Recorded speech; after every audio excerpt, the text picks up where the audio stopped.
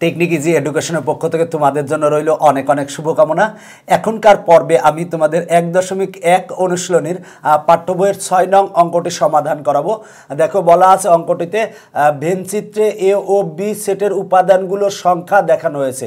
মানে ভেনচিত্রে দেখো ভেনচিত্রে এ ও বি সেটের উপাদানগুলো দেখানো হয়েছে। যদি n of A equal to n of B হয় তবে নির্ণয় করো এক্সের মান নির্ণয় করো। প্রথম আহ, ক নং আমরা সমাধান করাবো। তো দেখো যে ব্যাপারটা, আমার এখানে একটা ভেন চিত্র দেওয়া আছে। এই টোটালটা হচ্ছে সার্বিক সেট। সার্বিক সেটকে ইউ দ্বারা প্রকাশ করা হয়। এই বৃত্তটা হচ্ছে এ আর এই বৃত্তটা হচ্ছে বি। দেখো, আমি ভেন চিত্র সম্পর্কিত বিস্তারিত বেসিক তথ্য আমি কিন্তু প্রথম পর্বে আলোচনা করেছি। যদি পারো প্রথম পর্বটি দেখে আসলে তোমাদের জন্য আরও ভালো হবে। তো দেখো, এ আমার এ বৃত্তের ভিতরে আছে থ্রি এক্স আর এক্স আর এই বি বৃত্ত, দেখো এই বি বৃত্তের ভিতরে আছে হচ্ছে এক্স আর টু এক্স প্লাস এইট এখন বলা আছে এক্সের মান বের করো, কিন্তু আমার শর্তে দেওয়া আছে n of A equal to n of B n of A বলতে এ এর উপাদান সংখ্যা বোঝায় দেখো আমার মনে করো যে সি ইকুয়াল টু দেওয়া আছে টু থ্রি তাহলে n of C equal to কত হবে? এন অফ সি দেখো সি এর উপাদান আছে দুইটা, তার মানে টু হবে। মানে n of C equal to হবে টু এখন দেখো যে ব্যাপারটা আমার শর্তে দেওয়া আছে হচ্ছে n of A equal to n of B দেখো এন অফ এ মানে এ বৃত্তের ভিতরে কি কি আছে? সেটা হলো যে থ্রি এক্স আর এক্স আছে।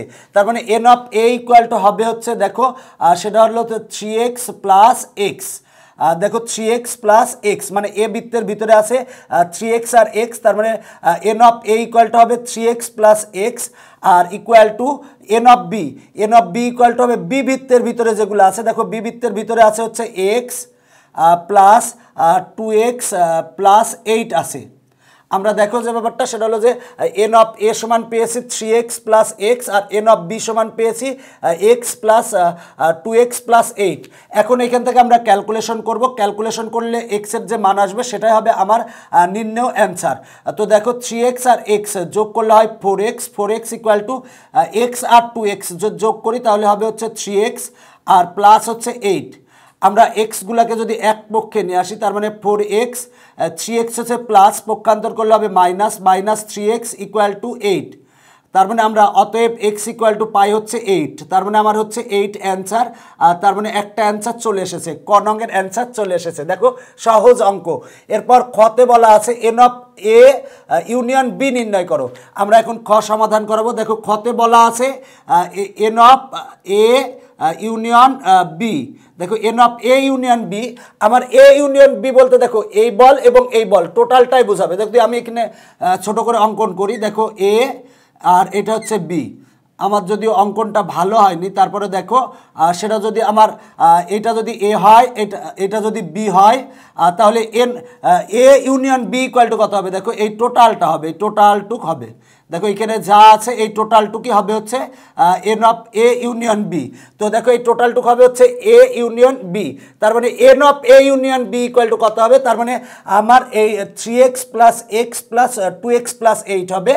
তার মানে দেখো এ ইউনিয়ন বি সমান কিন্তু এ বৃত্ত এবং বি বৃত্ত টোটালটাই আর তো দেখো দেখো যে ওটা, তার মানে আমার থ্রি এক্স আর প্লাস এক্স আর বি এর এর ভিতরে আছে থ্রি এক্স প্লাস এক্স আর বি এর ভিতরে আছে এক্স যেহেতু এক্স অলরেডি নিয়ে নিয়েছি, তাকে হচ্ছে plus two x plus eight এখন থ্রি এক্স আর এক্স যোগ করলে হয় ফোর এক্স ফোর এক্স আর টু এক্স যোগ করলে হয় হচ্ছে six x six x plus eight এখন আমরা এক্স সমান কতে পেয়েছিলাম এইট সেটা এইটটা বসাই দেব, গুণ এইট বসাই দিলাম প্লাস এইট সিক্স আর এইট গুণ করলে হয় ফর্টি এইট ফর্টি এইট আর এইট যদি আমি যোগ করি, যোগ করলে হয় হচ্ছে ফিফটি সিক্স তার মানে অ্যান্সার হচ্ছে ফিফটি সিক্স এখন আমরা গণং সমাধান করব, বলা আছে এন অফ বি বাদ এ মানে বি বাদ এ বা বি মাইনাস এ বের করতে হবে। তার মানে দেখো যে ব্যাপারটা, আগে বি মাইন বি বাদ এ কোনটুক বা বি মাইনাস এ কোনটুক। দেখো আমরা বি থেকে এ বাদ দিব।